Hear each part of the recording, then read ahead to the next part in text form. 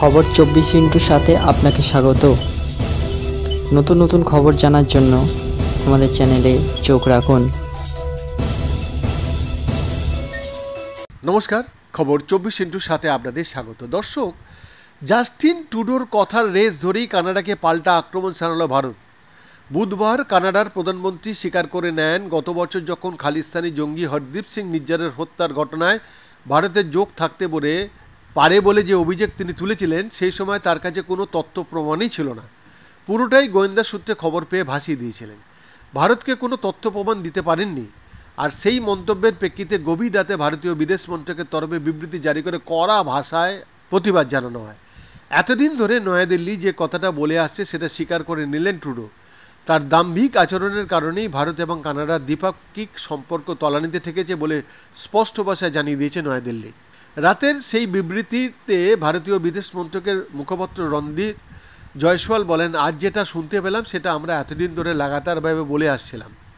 ভারত এবং ভারতীয় কূটনীতিবিদদের বিরুদ্ধে যে গুরুতর অভিযোগ তুলেছিল কানাডা সেটার সপক্ষে আমাদের ছিটে পেটেও কোনো প্রমাণ দিতে পারেনি। সেই সঙ্গে তিনি বলেন, এই দাম্ভিক ব্যবহারের কারণে ভারত ও কানাডার সম্পর্কে যে ক্ষতি হয়েছে সেটা দায় একমাত্র ট্রুডোর ওপরেই বর্তায়। ট্রুডো অবশ্য কানাডায় ভোটের আগে আগে যাবতীয় দায় ভারতের ঘাড়ে ঠেলে দিয়েছেন।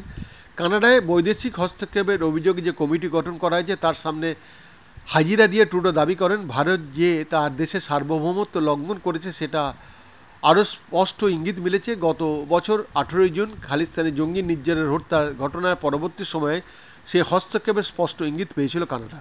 সেই ছবিটা আরও স্পষ্ট হয়ে গিয়েছে বলে দাবি করেন ট্রুডো।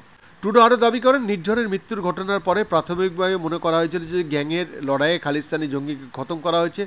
কিন্তু পরবর্তীতে দক্ষিণ এশিয়ার সাংসদ এবং দক্ষিণ এশিয়ার লোকজনদের থেকে জানতে পারেন যে সেই ঘটনায় ভারতের যোগ আছে। তারপর সেই বিষয়টি আরও গুরুত্ব সহকারে বিবেচনা করার জন্য গোয়েন্দা এজেন্সিদের নির্দেশ দেওয়া হয়েছিল।